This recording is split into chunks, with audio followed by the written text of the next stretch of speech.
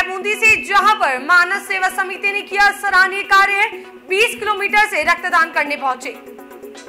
मानव सेवा समिति के प्रदेश अध्यक्ष राजेश खटीक ने बताया कि एक तरफ़ जहाँ वैश्विक महामारी कोरोना ने बूंदी में कहर बरपा रखा है, वहीं दूसरी तरफ़ मानव सेवा समिति का रक्तदान महादान अभियान व सेवा कार्य का जज्बा निरंतर जारी है, जिसके तहत आज बूंदी सामान्य चिकित्सालय के मेडिकल वार्ड में भर्ती खून की कमी से गंभीर बीमार सीमा योगी को एक यूनिट बी पॉजिटिव ब्लड की सख्त ज़रूरत थी। कहीं से व्यवस्था नहीं होने पर मानव सेवा समिति के प्रदेश अध्यक्ष राजेश खटिक के फ़ोन कर मदद करने को कहा तो राजेश खटिक ने मंडारवाला निवासी समिति के कार्यकर्ता चौथमल शर्मा से रक्तदान कर युवती का जीवन बचाने का आग्रह किया। तो चौथमल शर्मा तुरंत ही अपने ई मित्र की दुकान बंद कर युवती का जीवन बचाने के लिए अपने गाँव ऐसी बूंदी ब्लड बैंक पहुँच रक्तदान किया।